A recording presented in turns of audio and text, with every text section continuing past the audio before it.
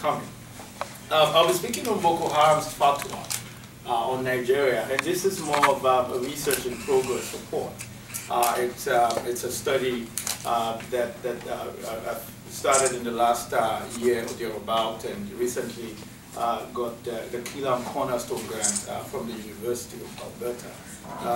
this is my second visit to Carleton, but my very first talk on this campus, so I am excited um, to be here.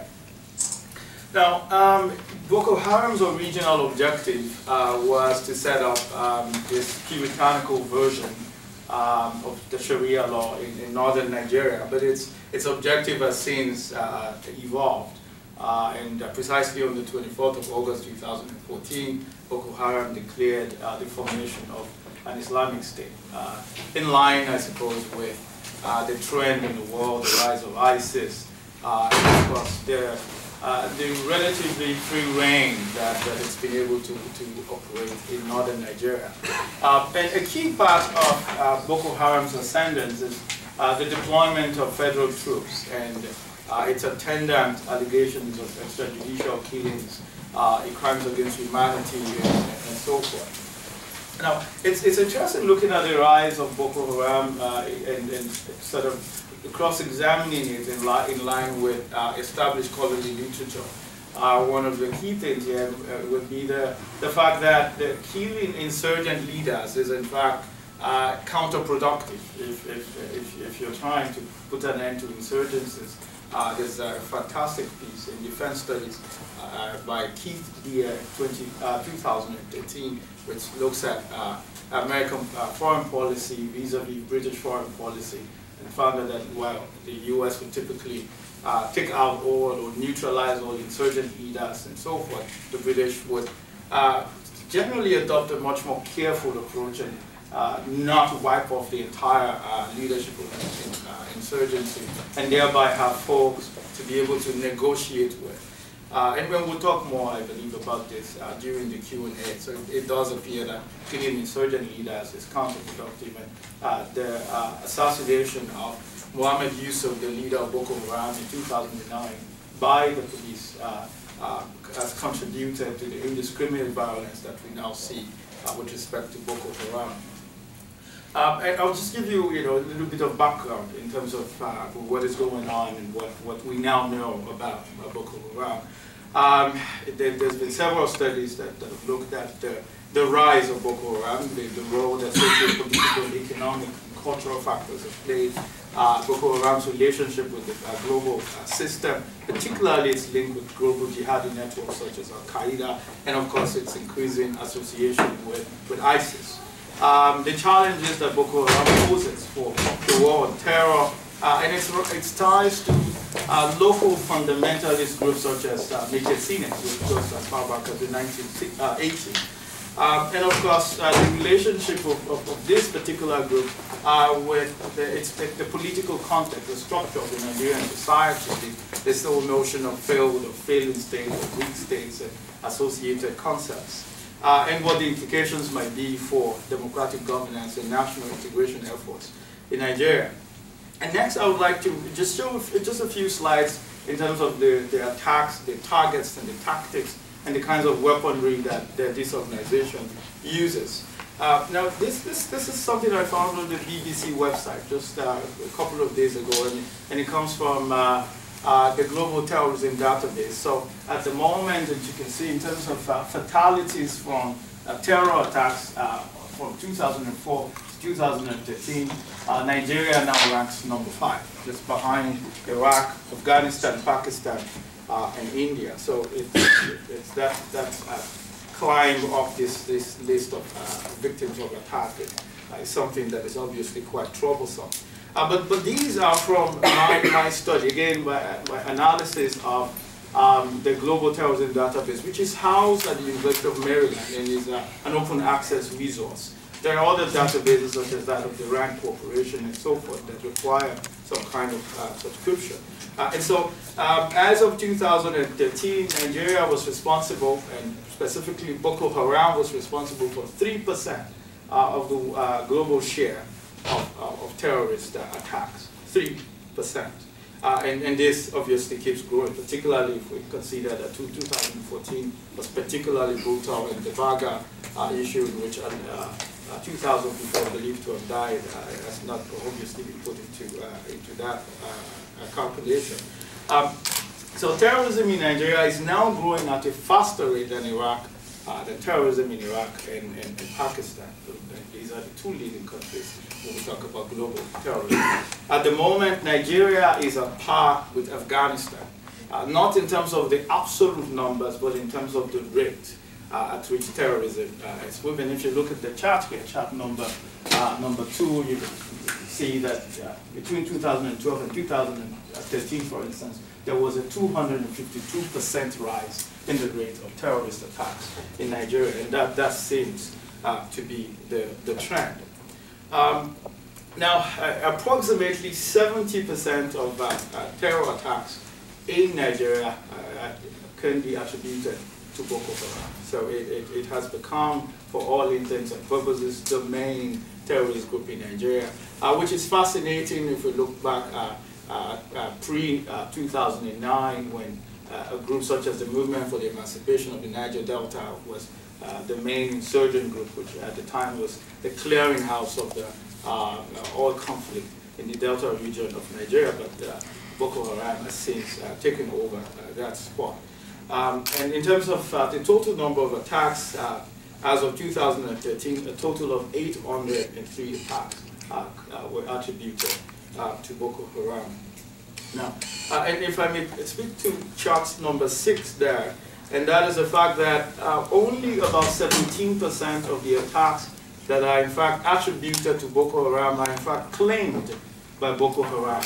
Um, it claims only 17% in terms of its discursive framing. It claims only 17% of the attacks that are attributed to. Now these are implications in terms of how the Nigerian government moves forward in terms of solving this problem. Uh, A, is Boko Haram responsible for all of these attacks? And B, has Boko Haram essentially become a franchise for terrorist attacks in the country? So these are questions I believe that moving forward would, would have to be answered. Uh, the bulk of Boko Haram's attacks, 93% uh, of its attacks are directed at non-combatants, unarmed individuals, unarmed civilians. It's only in 7% 7 of the cases that it actually focuses on individuals who are in, in, in uh, uh, obvious violation of international law. Now, and this just shows just the, spread of, of its attacks. Um, uh, Maiduguri uh, is number one at 31%, Kano at 9%, Wajisco, Damaturu, and so forth. Uh, and of course, Abuja, the federal capital territory, uh, has uh, experienced 1% of, of, atta of, attacks by uh, Boko Haram.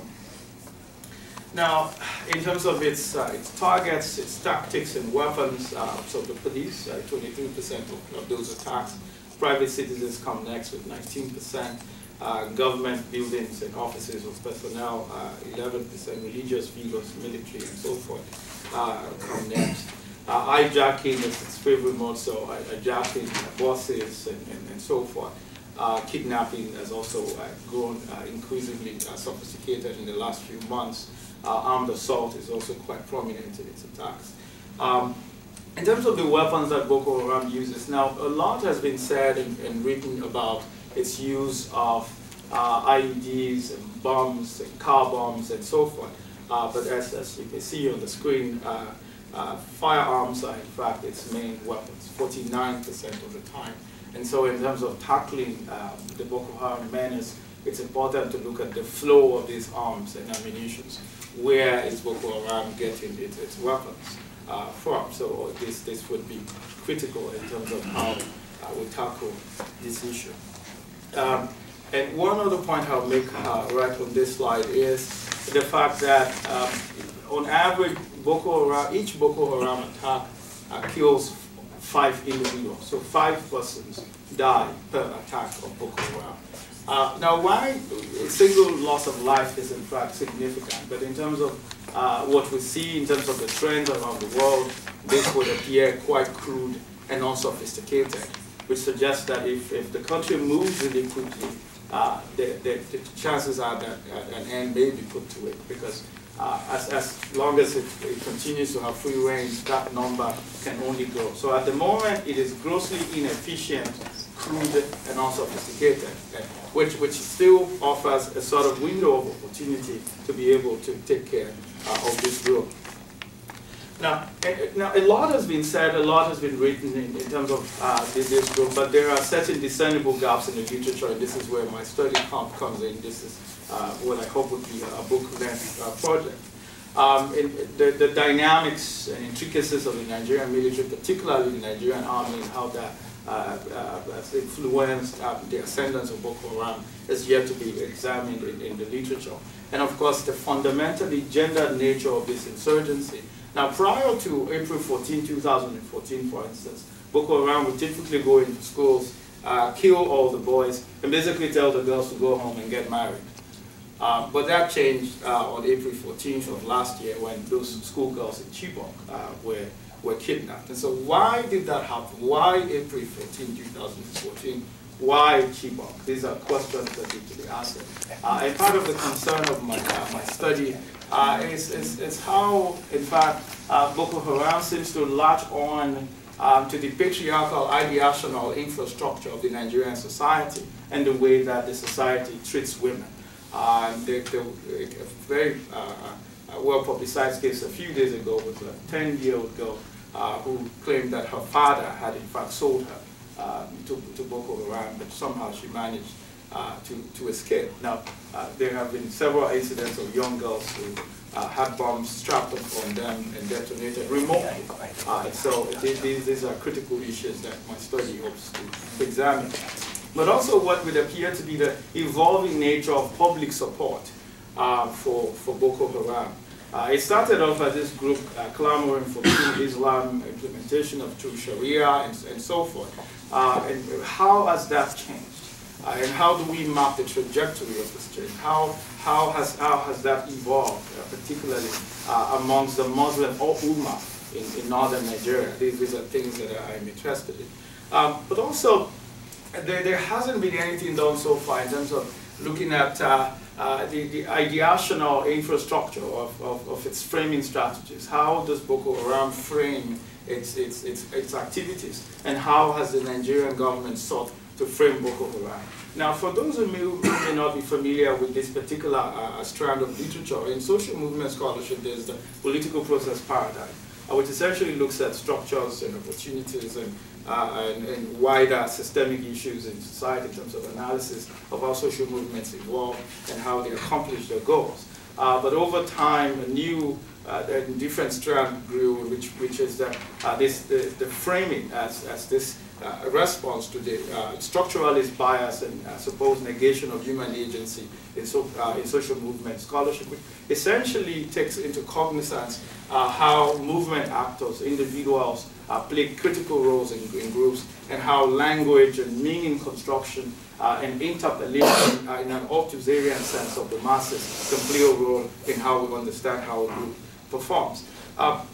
It's also clear that a lot of the studies that are out there are largely based on secondary sources. I, I am yet to come across any any work that, that's based on uh, primary data. This this is what I, I uh, these are things I'm interested in. Um, now, so the overarching question that, that my study seeks to examine is, is uh, the, sociogenesis or etiology of the Boko Haram phenomenon uh, and intricacies of the military setup, as I mentioned earlier, the gender dimensions, uh, the opinions of select members of, of, communities, of northern communities, the Muslim Ummah to, Ummah to be precise, about Boko Haram's activities, its framing strategies, and the implications of the hashtag Bring Back Our Girls uh, campaign.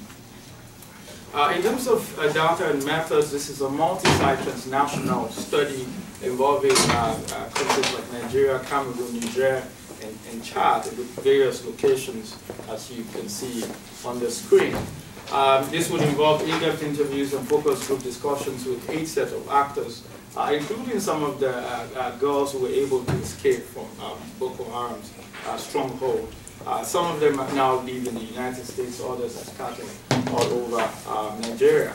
And of course, uh, military personnel in, in, their take on, on the constraints that they face in their battle uh, against Boko Haram.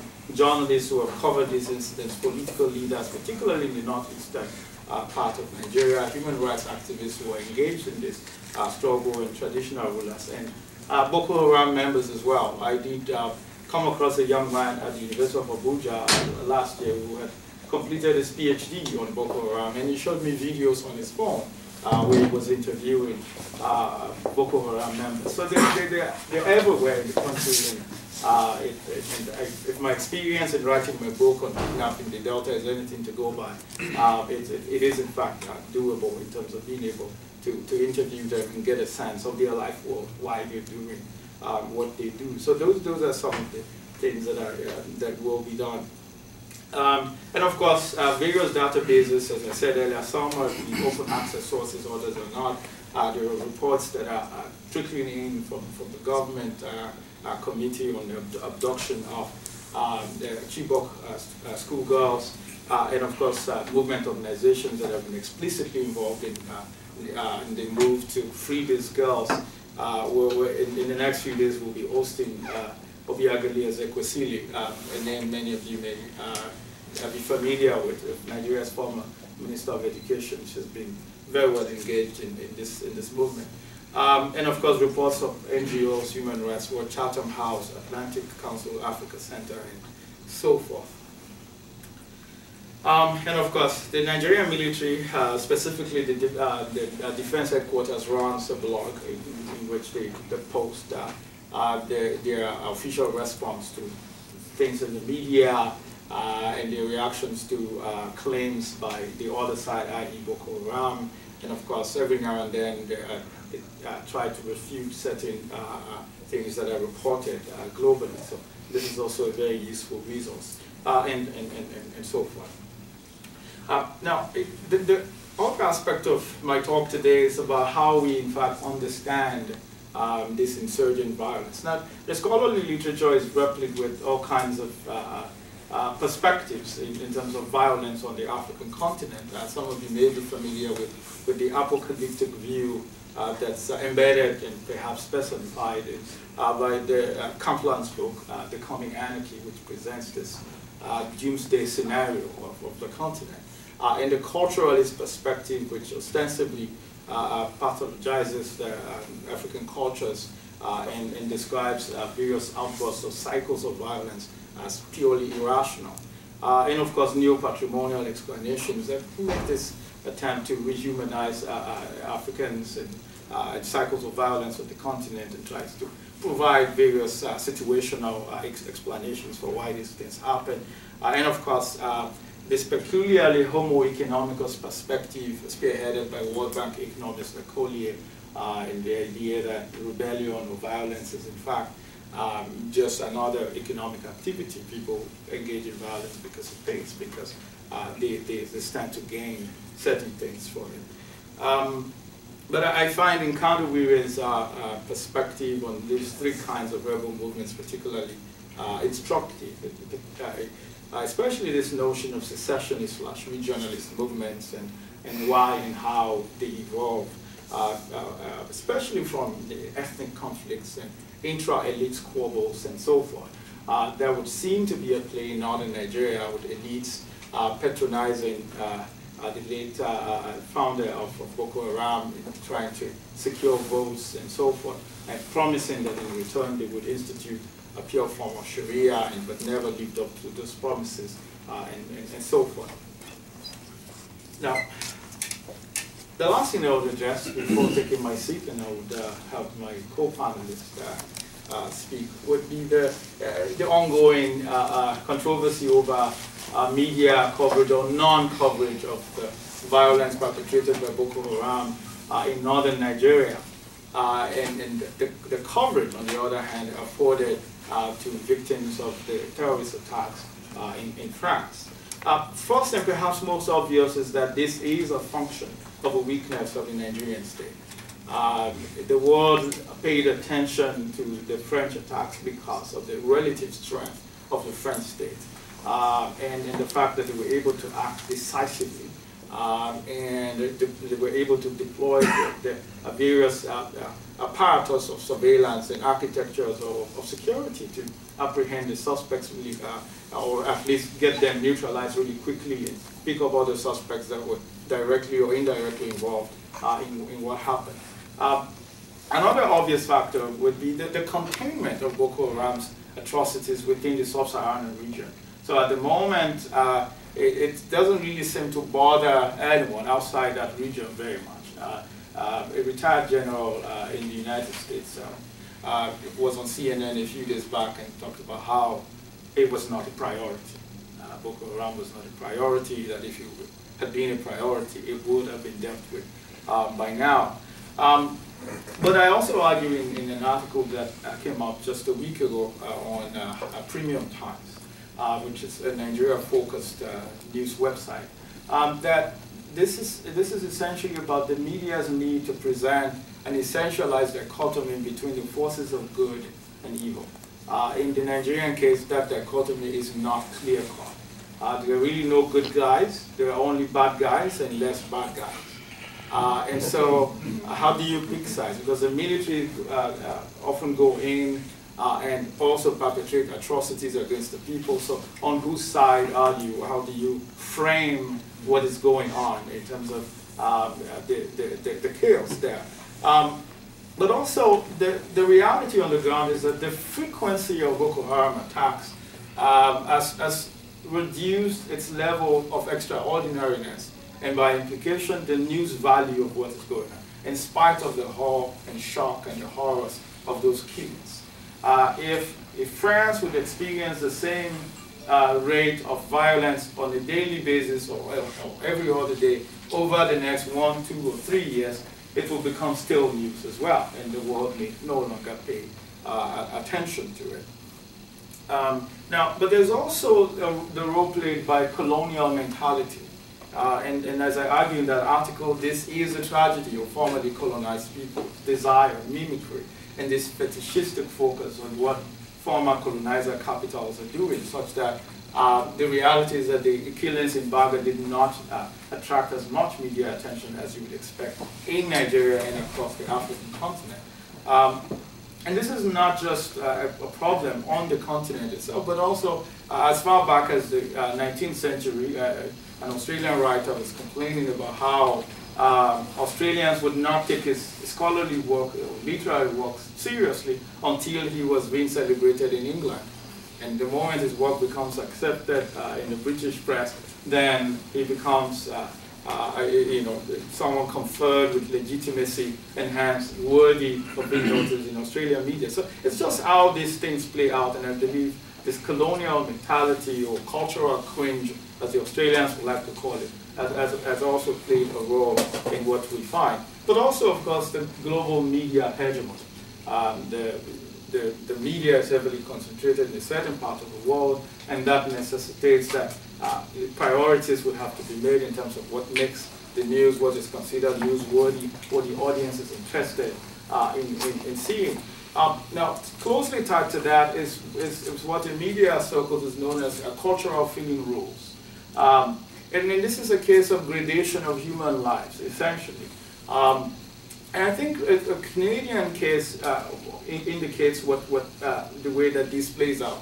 Uh, some of you may recall the death of Robert Dziekanski on the floor of the Vancouver airport uh, in 2007. This was a national tragedy uh, and a watershed moment in terms of the use of force, particularly electromagnetic disruption technologies by the police in Canada. Now, it was fascinating, and, and two colleagues and I wrote a, uh, a, paper on this, which came out in the journal Social Identities.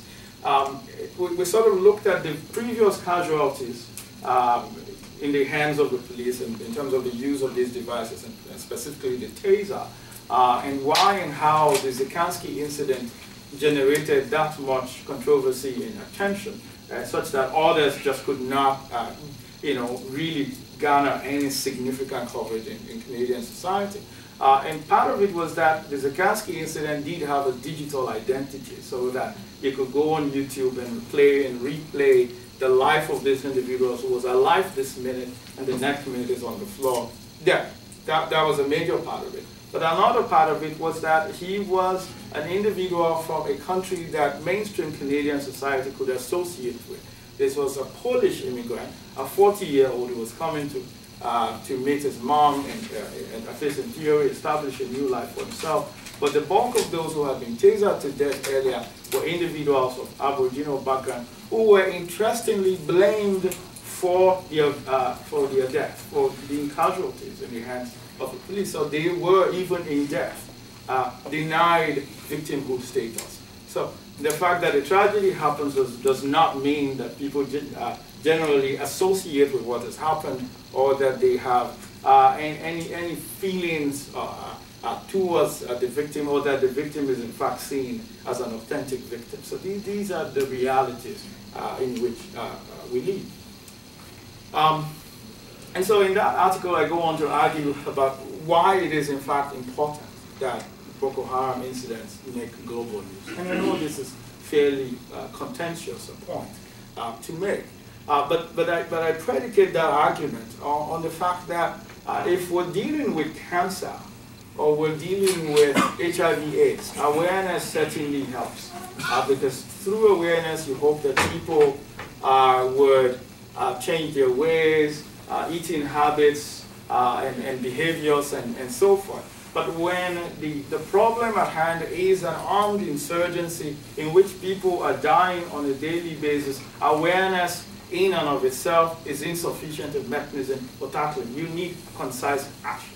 Awareness is, is almost useless at that, at that point. This was not an insurgency that was brewing. This was an insurgency that was already very much in motion. Awareness was not what was needed what was needed was for the Nigerian people and the government of Nigeria to act decisively. And on that note, I would like to thank you for listening.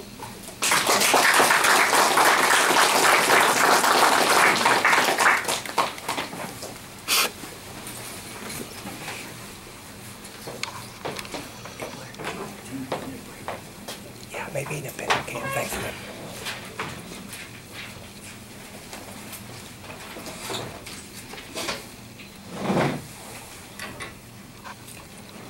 Sorry, I come from a uh, much younger generation than uh,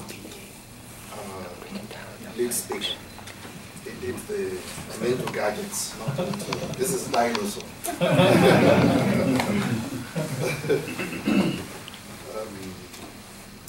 yeah, that, that was um, really, I don't know that anything can be added to, to what you have been, you have so uh, brilliantly, brilliantly uh, put together. Know. Uh, so what I'm just going to do is to maybe chip in a few dimensions you know, that would um, further contextualize everything that you have heard from uh, Dr. Oriola. And I'm going to take a different tack. I'm going to come in from the angle of um, solutions, uh, the entire discourse of, of, solutions and how perplexing this has been, especially for the international community. How do we, what? Uh, and, and, there's one buzzword that keeps coming out. You know, uh, uh, everybody complains of a lack of a political will especially on the part of the players, of the political players in Nigeria. Oh, Boko Haram, you know, would end the moment uh, the presidency or the northern establishment summoned the political will, you know, to, to tackle this problem. That, that, that, seems to be a consensus, that there's the absence of this. Uh, to a certain extent, that is true. But I think it grossly simplifies uh, the issue. The absence of a political will, I believe, is subsumed within two other absences that have far more, much deeper ramifications for, for the public. There is the absence of a national will which needs to be separated from the absence Mhm. of a political will. And then there is the absence of a regional or a sub-regional will, so to speak.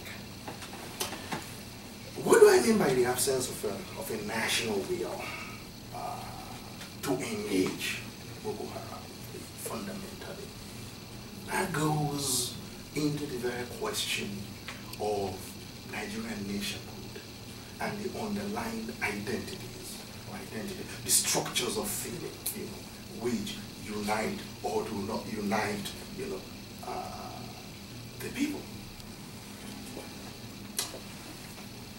The, in October or November, these attacks are so frequent now you don't even know which ones to, to recall as you saw from the data.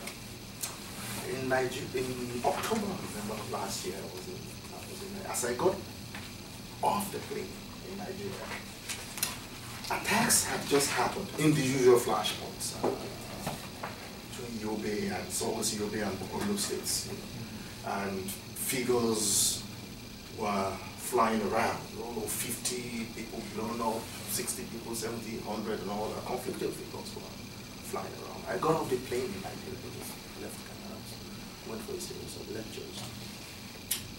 But how did I get to hear about these attacks?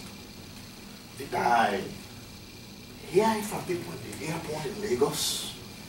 Or when I got to town in Lagos, when I got to, you know, when I started moving around Lagos, did I get a sense of a national tragedy that had just blown, you know, literally just blown up hundreds of compatriots?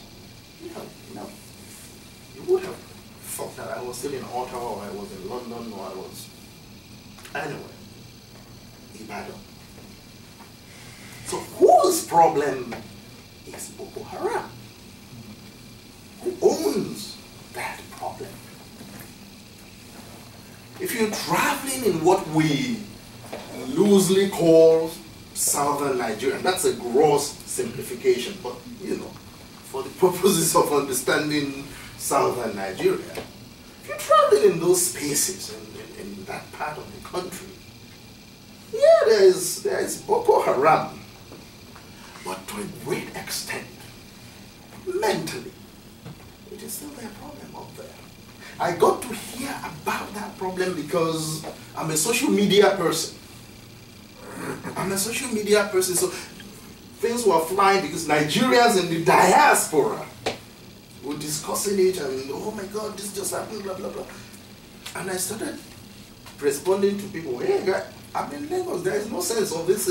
I have to go to CNN or BBC to even come to an assessment of the seriousness of what had just happened up north. So, is there a pan-Nigerian structure of of ownership of that problem, of this crisis in a fundamental sense? That's a question. That's, that's, that's, that's a question. And what how do we account for that?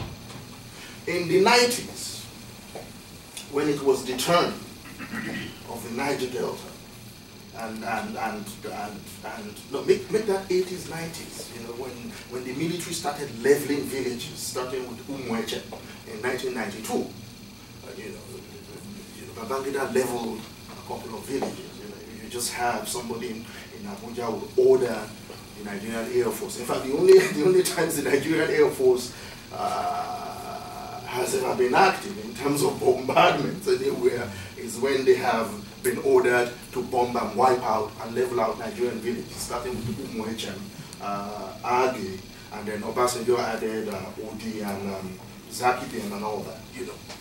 And then the insurgency, the, the militancy in the Niger Delta. While all that was happening, uh, I traveled in the north a lot. Kaduna, Kano, Sokoto, and all that. It's their problem. That's their problem. Down there. So you got no sense of this national tragedy.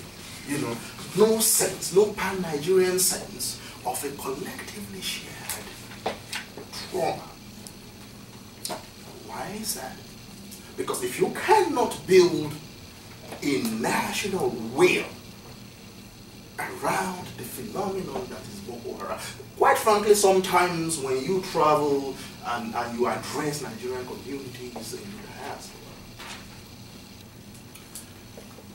non-northerners tend to plug into narratives of Boko Haram from the perspective of the embarrassment in terms of the way that the narrative collectively defines us. If it wasn't, in most cases, it was, you know, in the last two years, dressed Nigerians in Europe, here in North America, and all. So what are the impediments to the emergence of the sort of pan-Nigerian or trans-Nigerian national will that would be a fundamental precondition for tackling a problem of this magnitude? It all goes back to the errors of the rendering, and our chief speaker alluded to it the fundamental faults, problems of the emergence of that nation. Let me, let me, because I'm, I'm currently doing a graduate seminar on African life writing. And we're studying Wole Soyinka, you know, treating his memoirs. And this week, we focused on his account of the emergence of what he calls, he never says the Nigerian nation in his writings. He never alludes to a nation. He calls it a nation space. And you'll see all kinds of caveats, all kinds of adjectives, you know, in quaint nation space you know, uh, problematic nation space. And a, a, contemporary of it, you know, uh, arguably Nigeria's most famous poet, you know, also referred, you know, we'll say the errors of the rendering, the errors of the rendering. What does he mean by the errors of the rendering? You know, this, this, this, this inability to forge that collective national will. See how he accounts for it. And Boko Haram cannot be taken out of that foundational moment. You know, we like to situate it in the present, but things, things went wrong a long time ago, you know, from the very beginning. And so you cannot, um, recent memoirs, so this would explain why Boko Haram is a problem, why militancy was there a problem, and everything in between. Recent memoirs by former colonial officers have revealed how crooked the beginning was. He's talking about the beginning of Nigeria. The elections that placed the government in power at the center were rigged by the British. John Bull was not about to leave an independent Nigeria under the control of any uppity radicals as the southern nationalists in the east and the west were perceived. Thus, on instructions from the British Home Office, even the Nigerian census was falsified, giving an artificial majority to the north, which was largely feudalist by tradition and conservative in political outlook. The census was actually based on sample head counts, random or selective, no one knew, which were then roughly multiplied by the acreage of the landmass irrespective of actual population densities. In its resolve to ensure that the nation was handed over to a conservative power, the British did not rely on numerical strength alone. After all, the North did harbor radical or rebellious elements such as thieves and what was known as the Middle Belt, or the Northern Elements Progressive Union in quite sizable numbers. And so, to make absolutely certain that power did not fall into the wrong hands, specific instructions were issued by the British Home Office to its civil servants. The final results of elections to the federal legislature must be manipulated where necessary, in favor of the political conservatives. Archival material, now free of the, of the time constraints of the official Secrets Acts, testify to this. An admission and even a statement of regret was wrung out of a serving British minister during the Abacha years. The president had, however, been set, and Reagan now answered the name of democracy. Not surprisingly, the national flag began to unravel rather quickly after independence. And he puts a footnote here. In 1992, the memoirs of a former colonial, uh, colonial officer, Harold Smith, were ready for publication but suppressed by the British government. The author sent me the manuscript. So that's, that's what the British government didn't know. They had sent the manuscript to Soyinka, unfortunately, in which he revealed that he had been ordered by the Home Office, by the Home Office to take part in the rigging of the 1959 elections. In his own words, it was the British who taught Nigerians the art of rigging. What the British rigged was much more than elections. It was much more than elections. So that's why today, actually, when we conduct elections, you I'm very unsympathetic to the idea the British media talking about democracy in Nigeria and all that because you know, they created, don't talk about rigged elections in Nigeria because, you know, you started it. But what they started was also a nation where ethnic animosities, regional animosities, and all these fault lines that they coupled together and rigged and created fault lines, you know, were going to be exacerbated by the people they put in place. And that led us to a civil war. A civil war in which about two million Igbos were massacred. And outside of that civil war, cycles of genocide against the Igbos waste.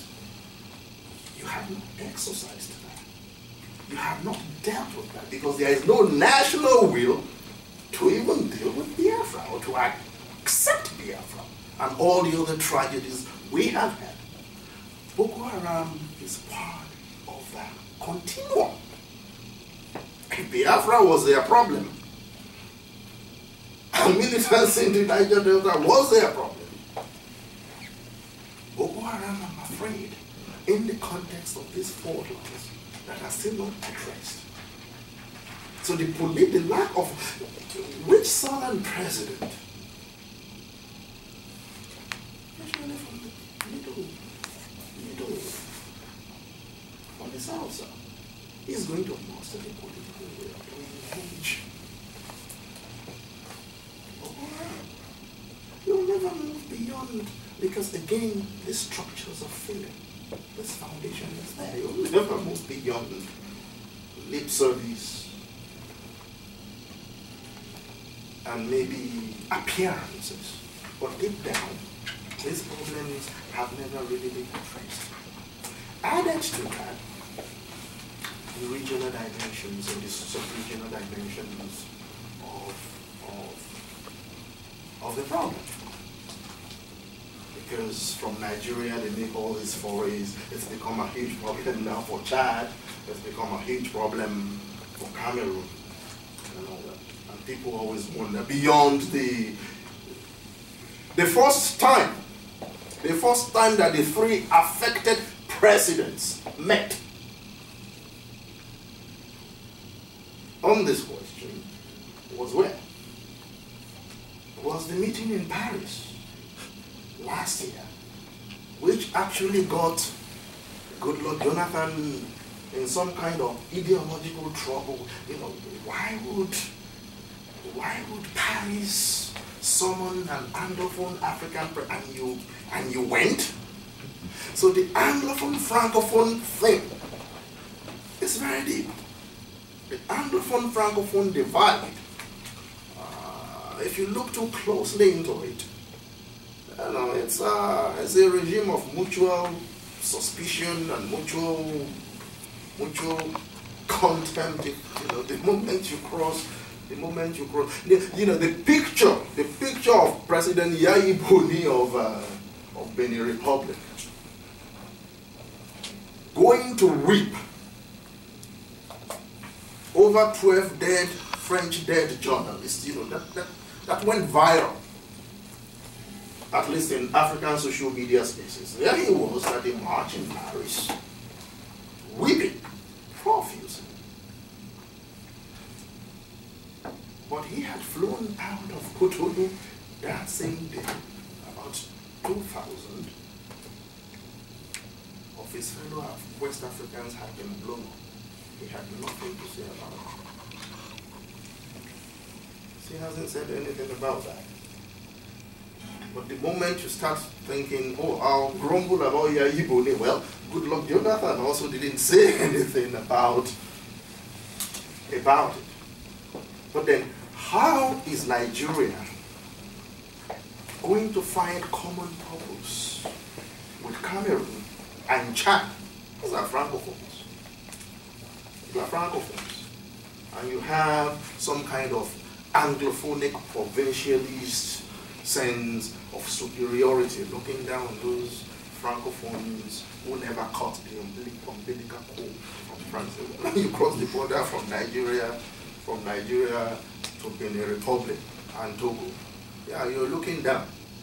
And then when you cross a flower to Ghana, ha! You're back in, back in business. and the contempt is returned by the francophones. So you have each behaving like the other doesn't really exist. You know, those are those are real issues.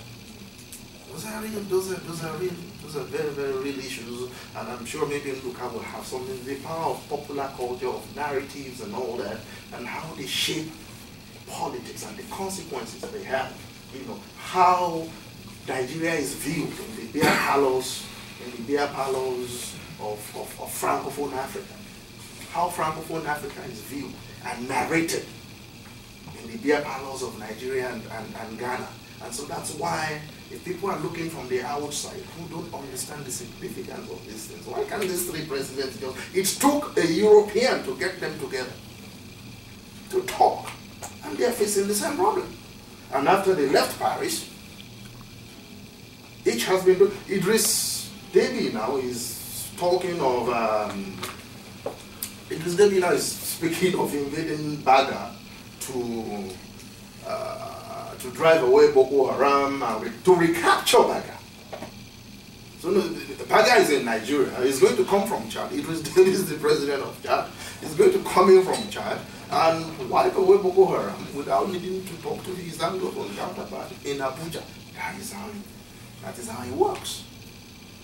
And if you want to know how serious these issues of of perception, and I'll stop there, of, of perception, uh, you know, the francophone and anglophone thing. I can speak to that because I have I have a leg each in both um, in both um, worlds, the, the, francophone and the anglophone worlds uh, in, in, in, Africa. Uh,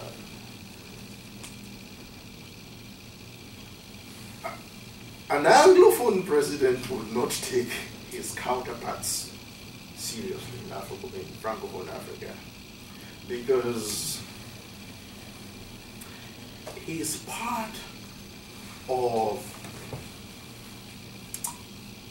the ways of seeing generated by one significant moment in 2002. In 2002, the World Cup in Korea, Korea, Japan, the football. You still remember that? The World Cup, in, the FIFA World Cup in Korea, Japan, yeah. You remember that opening match? The opening match 2002 was between Senegal and France. And so, you know, that got attention. A former colonial master versus a former colonized and all that, or what's going to happen and all that. And don't forget that the French team in 2002 was still largely composed of the team that had won in 98 and, and, and had won the, the Europe in 2000. So you still had the Henrys, you still had, you know, that generation, the Zidanes, even though he was injured. And so, of course, it, this is going to be a walkover for France. going to be a walkover and all that. And lo and behold, Senegal won. 1 0. And then in the media booth, after, after the scorer of that goal, that Senegalese player, the media was all over him. So, what are your sentiments? How do you feel? Not only did you score the opening goal of the World Cup, but then, wow, Senegal defeated France. I said, ah, yeah, yeah, I'm so glad. Let me start by saying that I dedicate this goal to the glory of France and Senegal. that is how the Anglophone, the Nigerian, the Ghanaian sees the Cameroonian, the Chadian, the, the subservient people who can't break away from France. Why would Goodluck Jonathan go and deal with Idris Deby and Paul Biya uh, on the same table? So those issues are very real. Boko Haram or no Boko Haram, there is no regional sense of things. So those two absences, the absence of a national will and the absence regional you know, combine to complicate or aggravate or exacerbate the absence of a political will. So I think all three absences should be taken together uh, when we think about Boko Haram and not only focus on the absence of the political will on the part of the political players in Nigeria. Thank you.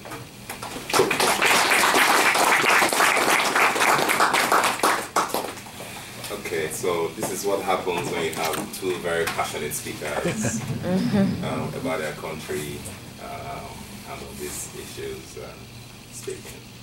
So what I plan to do is um, play the role of our timekeeper as much as possible, seeing that we have, um, I think um, we have less than 30 minutes, so that um, we stop at one, I think, officially. And I just want to bring a different angle and see how I can tie up this and um, create room for conversation because I'm sure that so many people uh, would want to um, join the conversation. Thank you so much for the, the preamble. You make my job very easy. so what I'm going to do is, there has been talk about Boko Haram. Um, our friend and colleague, Dr. Oriola, has um, laid out, you know, from a very sociological point of view, um, some of the of Boko Haram. And uh, Dr. Adesanmi has brought in um, some humanities angle to it and then bringing in um, the advantage of his two-legged scholarship as well, which is, um, you know, in French and um, English, uh, which is part of the problem of the Boko Haram insurgency in that tiny, not tiny, let's say tiny, we're talking about an area that's about the size of Belgium. So very often the Boko Haram uh, discourses tend to overlook the complexity of the problem. And so um, issues of corruption, of the inefficacy of the Nigerian military, and so many of these negative um, images of the continent play up as part of the reason why Boko Haram has not been contained. Um, those do play the part, but there's more to it. What is Boko Haram? Who is Boko Haram's leader? What does he represent? So if you give me just a few seconds, I want to play a video clip. Um, in the age of YouTube and the kind of social media apparatus that Boko Haram, ISIL, and um, different kinds of organizations are deploying popular culture to their advantage and to our disadvantage. Uh, it looks very inevitable that I should bring in this lunatic, you know, that is spearheading Boko Haram. So that, and I will, when I play this clip, I'm going to give you like a few seconds to digest it and to see what you think about this character.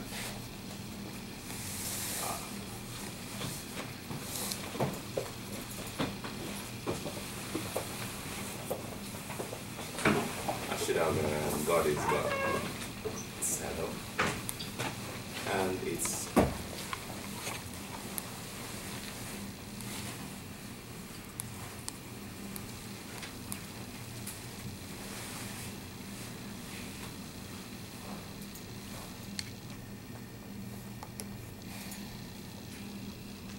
Now look at the search I have done, Boko Haram leader, kill, kill, and I can just fill up that space with kill, kill, kill.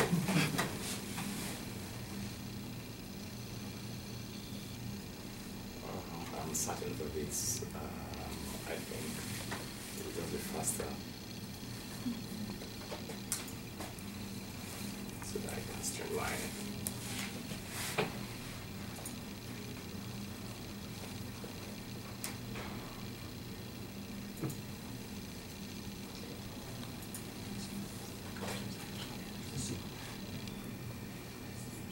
Uh, I don't want that. Okay, we can do, it's a shorter one, so that saves our time.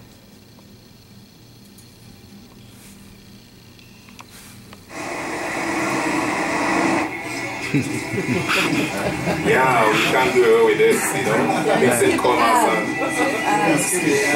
Yeah, okay, it's that, alright, cool. in every nation. Um, this is Abubakar Shekau, his name is there. That's the leader of Boko Haram.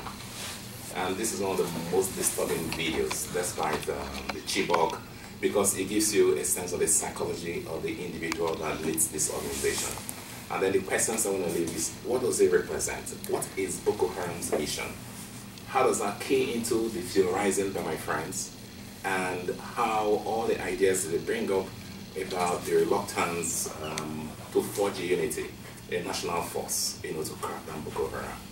And I like, uh, just before I play this, to, for us to remind ourselves that Nigeria led ECOMOG and crushed many of the insurgencies and rebellions in different parts of, especially um, in West Africa.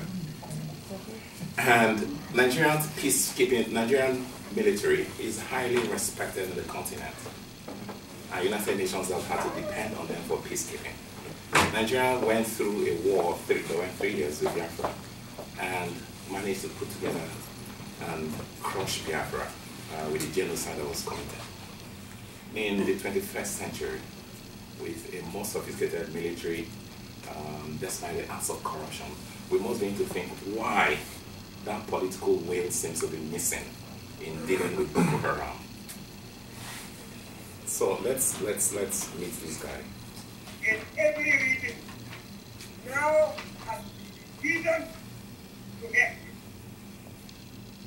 Either you are with us, I mean, dear Muslims who are following Prophet footsteps, or you are with the Obama or the Obama, the good, good, Clinton. I forgot what Abraham before.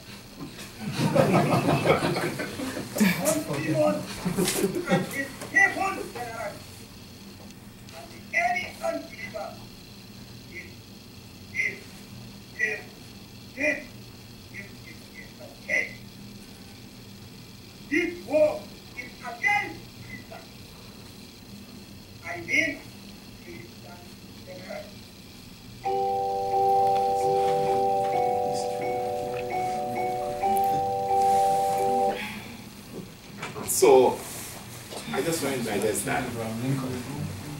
Abraham Lincoln. For crying out loud, what does Abraham Lincoln got to do with it? Um, one hates to laugh about a video like this, you know, because um, it points to how something, you know, um, some kind of modernity has been deployed, something that is relatively new in Nigeria.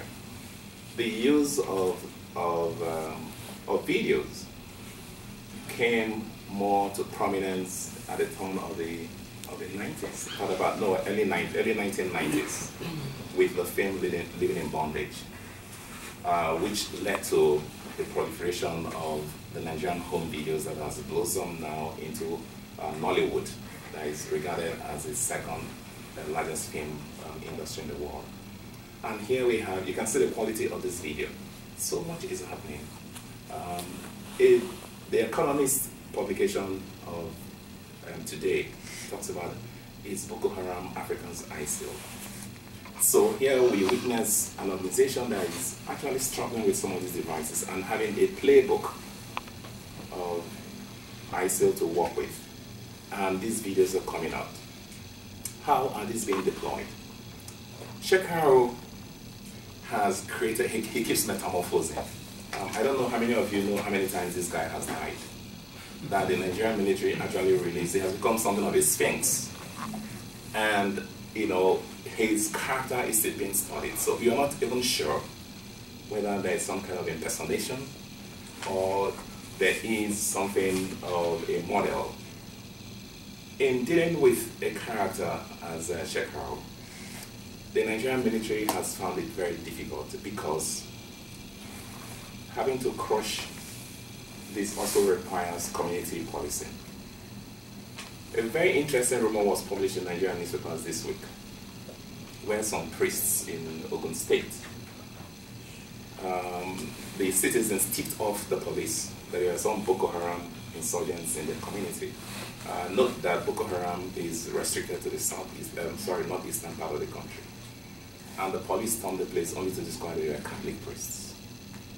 So what creates the situation that allows Boko Haram to operate a Scotch F policy? Pius um, raised a number of questions and Tope raised these questions.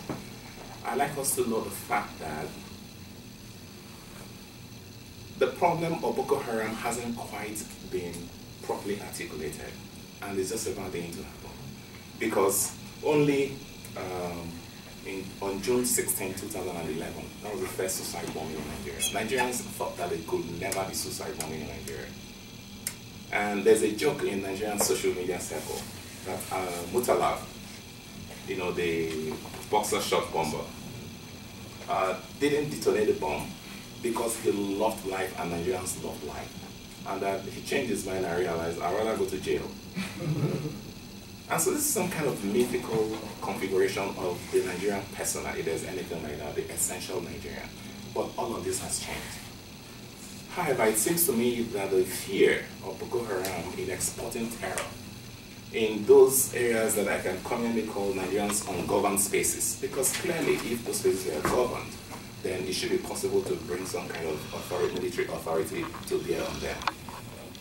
Uh, the character of the, of, the, of the leader of Boko Haram makes it so difficult, and I think the Nigerian government is possibly trying to understand what is this all about. It says in this video that I played, you know, attack Christians. Is he killing only Christians?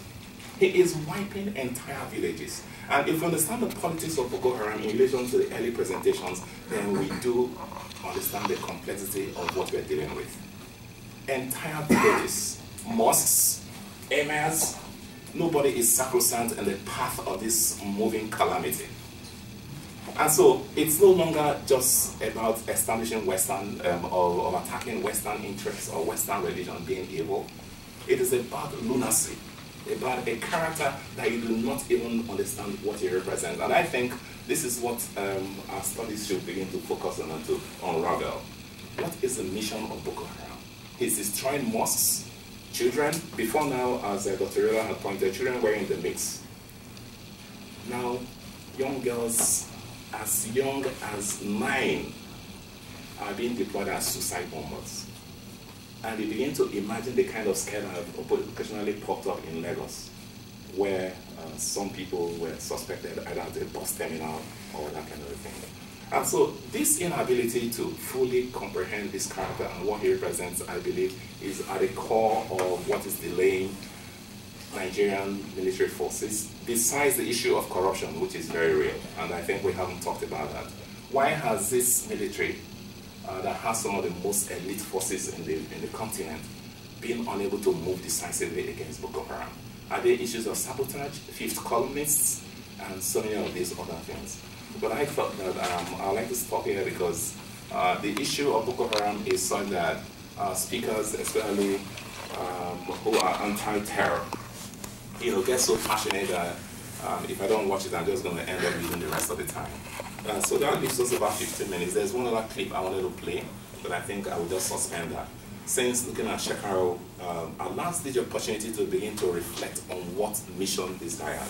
You can think about the leaders of Al-Qaeda, you can think about so many other people, as crazy as they might be, they seem to have specific targets and interests. But this is not the case with Boko Haram. what does Boko Haram represent and why has um, the inability to comprehend Boko Haram's mission, in addition to other factors, mitigated the attack on um, the, the government uh, policies on Boko Haram. There has been um, a state of emergency, which has been renewed. Nigeria declared a state of emergency. The political structure of the country in terms of the, of, uh, the north-south divide, the Muslim, um, Christian, and then of all days um, for lovers, you know, it's February 14 that Nigeria is going to election. February 14, 2015 presidential elections.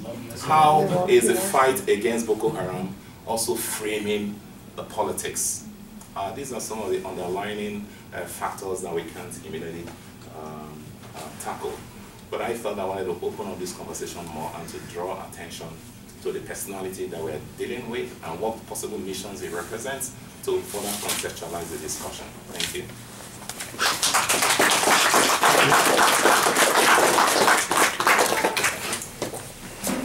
Great, thanks everyone. As uh, Lucas said, we had lots of information to, uh, to present. We don't have too much time for the discussion. I hope there's not another class coming in here at two, uh, 1 o'clock, we may be able to stay longer. Um, so I open up for, for questions. Uh, please, if you don't mind, when you uh, pose a question, just let, let us know who you are. Any questions, comments? We'll take a couple at a time and then, uh, then we'll turn back to our panelists. And if it's directed to anyone specific, please, please mention. it. Sure. I actually have a question for uh, Dr. Adesanmi. Uh, he made the reflection that there's no, there's lack of national uh, cohesion in some ways. Uh, uh, it's something in, in that line. Uh, why there's no uh, empathy within uh, generally across the uh, uh, Nigeria. But does in, in that critique, don't you think there's, don't you think you uh, you don't think, think we're missing a point here that in general, empathy, the way that we understand empathy in Nigeria right now, it's not, or, or beyond Nigeria, it's not so much, um, like people don't have the same affinity that you hold in the West, which is built within a culture in itself. Like, don't you think that's what's playing within that Nigerian context beyond the way that we that we see it as a northwest south thing? Because the same thing could also happen within the same south south region. If it happened on one side, we still got the same people within that south south south region also, also make that sort of reflection and say, well, that is their problem. You know, don't you think what is the problem is not so much the north-south problem, but a cultural issue which is not embroidered with the empathy has been embroidered in society and how you can reflect someone's uh, pain. We've got a question there. Sir? Uh, I'm Thabo Maja from South Africa. I diplomat from South Africa. Uh, what I'd like to ask is that uh, what will happen uh, on this uh, February forthcoming election where Goodluck Jonathan is busy uh, campaigning for the, this coming election? What is your uh, future for, you foresee for this coming uh, election? Will they be dis- disturbed or not? We'll take one more question, then we'll turn to the panel. It, uh, it seems that since 1960, Nigeria has been racked with various rebellions, whether it's Biafra, or Maitatsine in the 1980s, or Men, and now with Boko Haram. And I was wondering if any of you guys could further expand upon some of the underlying causes for uh, conflict in Nigeria's political order. Okay. Start with Pius. Yeah, um, I, I don't necessarily think that um, empathy, because if I understand you well, you're saying that, um, it appears you're saying that there- there's something transcultural or transcendental about empathy in the West, uh, as opposed to its being localized in In some ways, uh, it's something that within a, a body of people that they feel the same collective in, so on. I, I think that, I, I don't necessarily think that one has an innate or intrinsic capacity to be more empathetic than the other. I think what's going on in our case is, a, is a, and I tried to account for, for the colonial origins of that, is that there are discontents. There are discontents that are making fundamental ethnic religious discontents that are making uh, the emergence of a pan-Nigerian structure of empathy uh, almost impossible. You know, because right from the, the foundation, you know, uh, that, that nation was I don't even know why I'm calling it a nation. You know, even the founding fathers weren't so sure. One said it's a mere geographical expression and all the, the meaning of it, or it's still being, it's, it has been contested from the get-go. And one's inability to then uh, associate fundamentally with um, uh, maybe you are empathetic nationally only in football. You know, you don't you don't care what the religion or the or the or the ethnicity of a footballer in Nigeria, but beyond that, then it's people withdraw into their ethnic ethnic caves largely because of those discontents that were so central to the emergence of that nation state uh, itself. And in, in, a way, you could, you could um, of course, um, colonialism is not singularly responsible for it. You know, it's other things after that foundation had built on it uh, locally to exacerbate it. But you could, in a way, also use that to account partly for for men, for Maitatsine, uh, for Biafra. Biafra grew out of that sense of, of, of, of a fundamental discontent, a fundamental discontent with, with, with um, uh, Nigerian nationhood, and it's a discontent which had consequences, genocidal consequences, people were killed, uh, and all that, and it's still not been exorcised because uh, even in, in, in, in, the Nigerian public sphere, which is a very, very animated public sphere, it's moved largely to, to social media these days and all that. Uh, throw up Biafra. Throw up Biafra as a word, just throw it out there. And you'll be amazed at the at the fireworks. At the fireworks.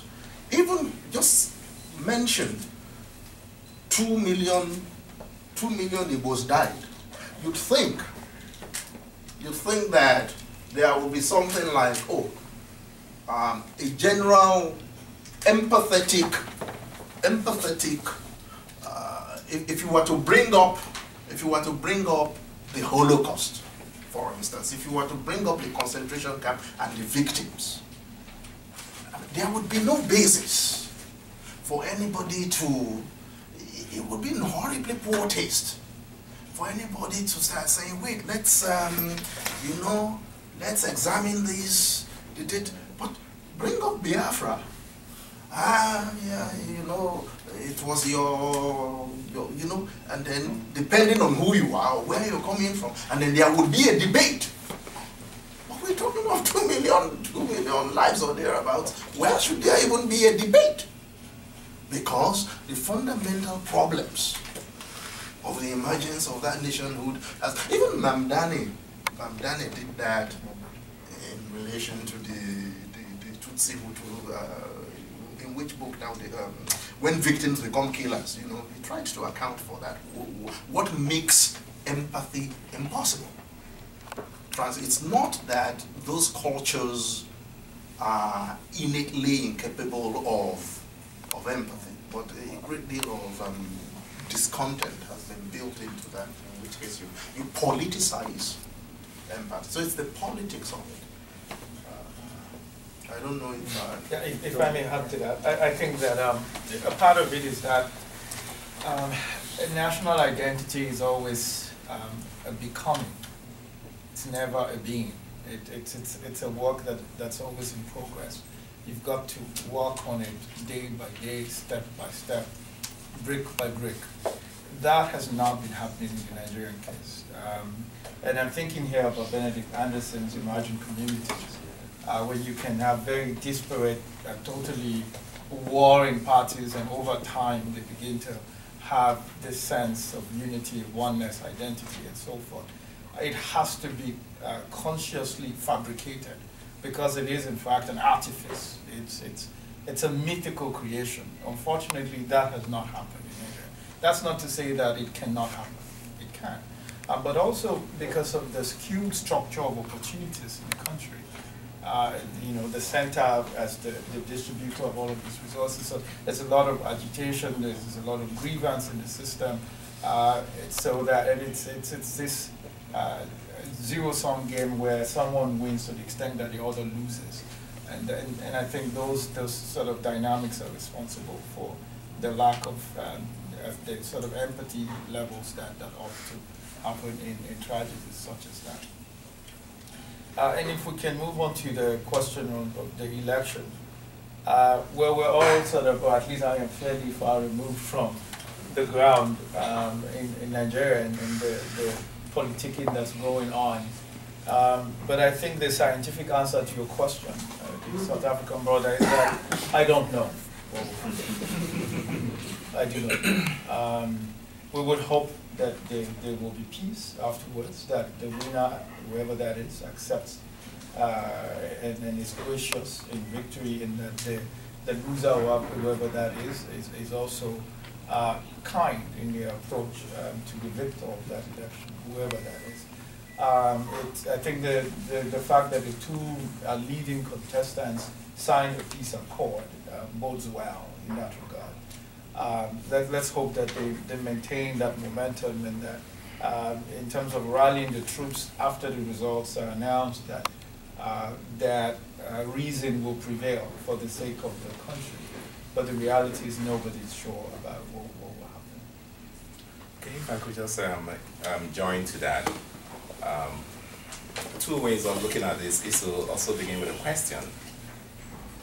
If there were a natural resource in the southeastern part of Nigeria, how would the Boko Haram insurgency be handled? in the northeastern part. In the north, sorry, in the northeastern part.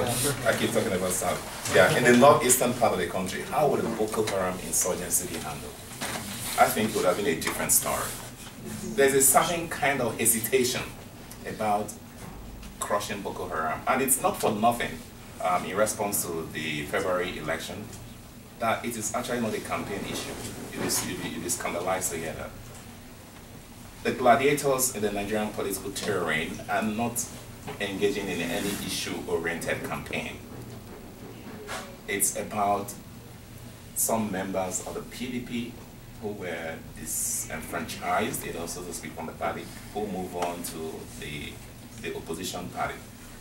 And so you do not have, from a Western point of view, clear ideological party structure.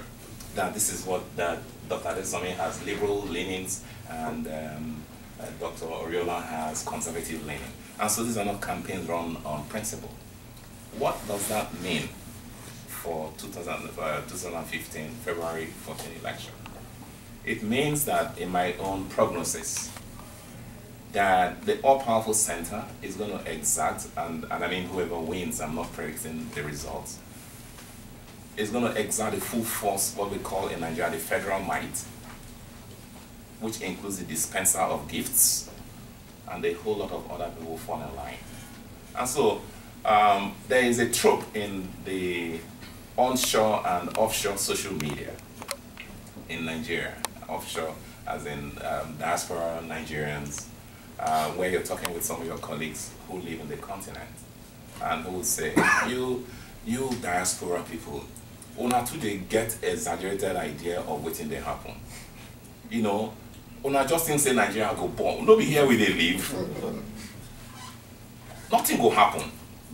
In other words you have people who have a very stoic spirit that believe that nothing is going to happen to nigeria. It's like a country that is always on a precipice. And i have uh, my friends in the media you know, um, having been a journalist for several years, who said, look, we've been covering this country. Nothing is going to happen. We have fought the last war. No Nigerian wants to go to war. You will hear a whole lot of this in the popular discourses. How uh, this ties into the fight against Boko Haram, you know, it's so important. But I think that on February 15th, there's going to be an election. There might be skirmishes here and there. And then I think at the end of the day, some members of the opposition party or the ruling party, depending on who wins, might cross carpets to do deals. And this happens, you know, they will, they will, as soon as it happened under the military, when General Abacha was, um, you know, when um, the wider international community in the United States supported General Abacha for, for to, that he could run an election as long as he stopped being a military dictator. And many other politicians, you know, began to juggle for positions in his party. And some of those who were singing on June 12 we stand, which was the, the freest and fairest election, defected overnight and deals were brokered in the night. So there is, you know, this issue of the rentier state and its role in beating so many people into line. However, I just, um, as a way of living it, you know, in terms of the crisis, yes, you're right. You know, these conflicts do come, and the worst has been the genocide against the Igbos. Two million people and you know the country is still going. So the attitude I believe that makes Boko Haram continue to thrive is that just leave this guy. It's, it's a local problem. And it seems to me that the complexion of the fight against Boko Haram will change when the state determines, and the state, you know, I'm using the very complex Nigeria as a corporate entity, no matter whether it's south or west, or east and north, you know, when the state realizes that there is a potent threat you know, of existence. So for now, it's not even an issue on the campaign. And then you're looking at the Baga massacre, 200 people. There are almost, you know, close to 4,000 people have been killed by Boko Haram. And much of this has been in the last two, in the last three years, 2009, or about six years. And then the frequency is increasing. So uh, there are whole lot of underlying politics and the question of, of capital um, access, you know, resource access are also um, influencing the general flow of uh, Nigerian political economy. Yeah, and just to, you know, tie into uh, what uh, Dr. has just said, um, a former president of Nigeria, Olusegun Obasanjo, uh, recently um, uh, contemplated publishing his memoirs, and um, uh, in some of the reports published online, um, he narrated his encounter with the current president uh, about Boko Haram and what the government was doing, and that the president basically said, oh, Boko Haram is just his enemies killing one another.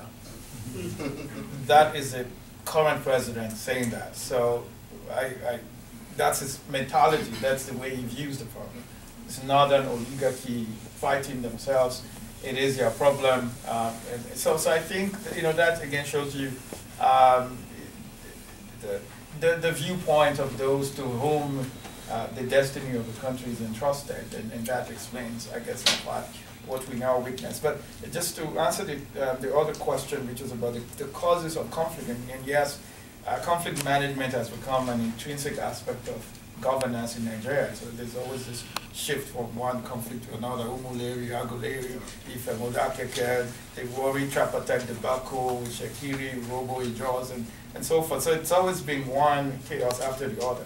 But I uh, quickly noted a few things here. Um, Intra-elite squabbles has always featured prominently in each of those conflicts, be that at the presidential level or the local level, traditional rulers and so forth.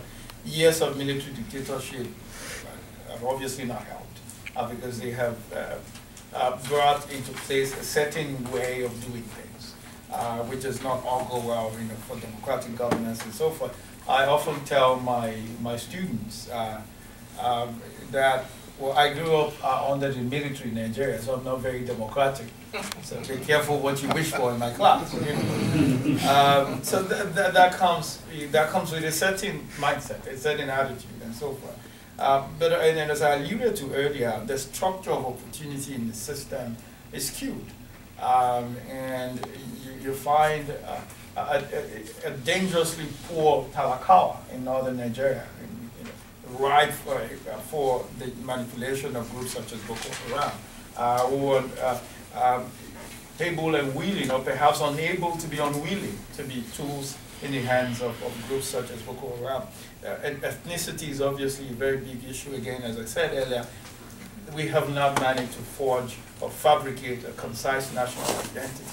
And finally, socioeconomic problems, unemployment, cost of housing and all of that, making daily living difficult for the average person, particularly in northern Nigeria, where uh, even in, in, in a, a, relatively poor country, you have the levels of poverty that have been so staggering that other countries appear, or rather other states appear much richer. And so just to put it into perspective, the 10 poorest states in Nigeria are in northern Nigeria. The 10 richest states are in southern Nigeria. And I think that season already says it all uh, in terms of how uh, and, and why things like this and I'm going to leave it at that. You know, officially we're over. However, uh, we aren't being kicked out of the classroom. So uh, I, if everyone's in agreement, we can continue. But of course, if you have to leave, you know, feel free to, to make yourself leave. You're okay? You're, you three are okay to continue the conversation. So we'll let people flip out, and then if you have further questions. Yeah, yeah, exactly. So if you have other questions, uh, please put up your hand and. Yeah. Yeah. We'll wait a Barry for these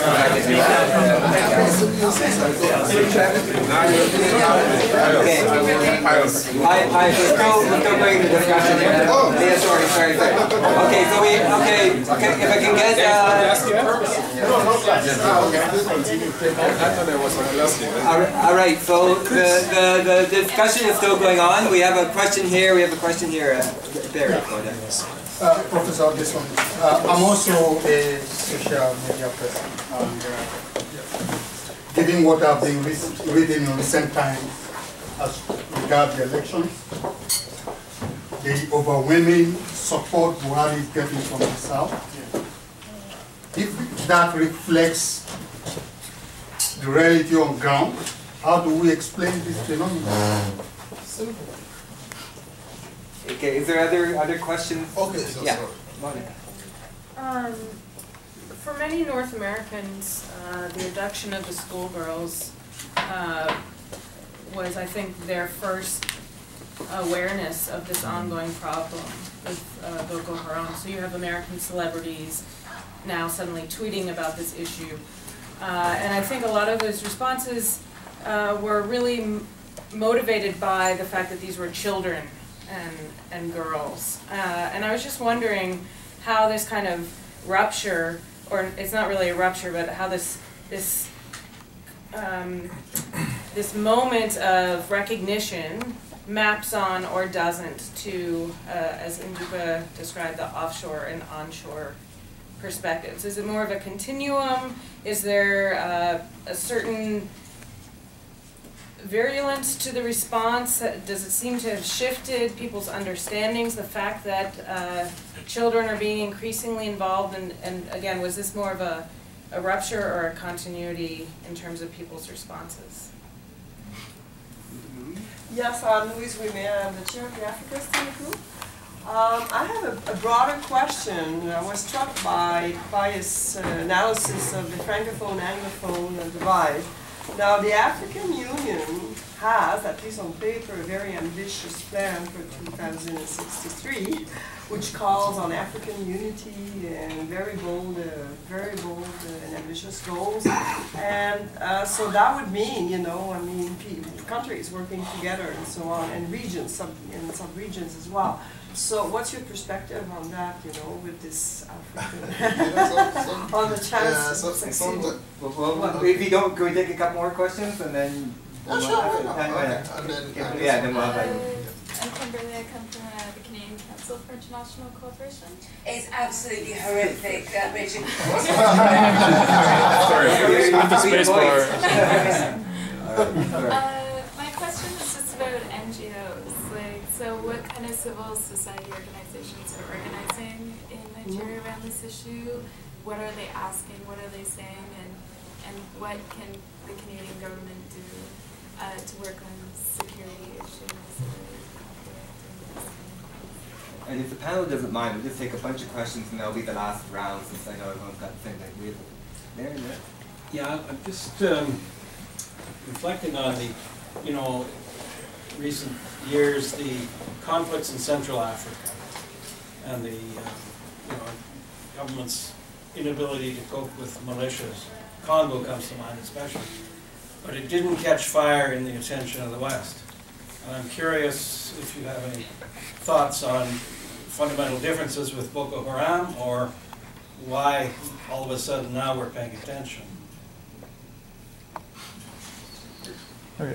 Um, my name is Brad. I'm a student in political science. Um, my question is for all three of you generally, but mainly you, Dr. Oriola, because uh, one of your graphs in your presentation piqued my interest. So, uh, typically, when a terrorist organization is going about its business, it wants to um, claim responsibility for its attack so that it can it can uh, you know gain its credibility vis-a-vis the government and say in, in the case of Boko Haram, for instance, uh, the government can't stop us. They're, you know, the political will is not there. They're not capable. We're winning. Okay, but uh, in some of your graphs, you showed that the the share of terrorist attacks in Nigeria, um, Boko Haram is increasing their share as number of the proportion of the total attacks, whereas their their share of the attribution of their attacks is decreasing. I think in a different chart, and so that makes me wonder why would not would they not want um, to claim responsibility for those attacks, given the terrorist organization. Hi, yeah, I'm uh, David Moore from the University of Johannesburg in South Africa. Um,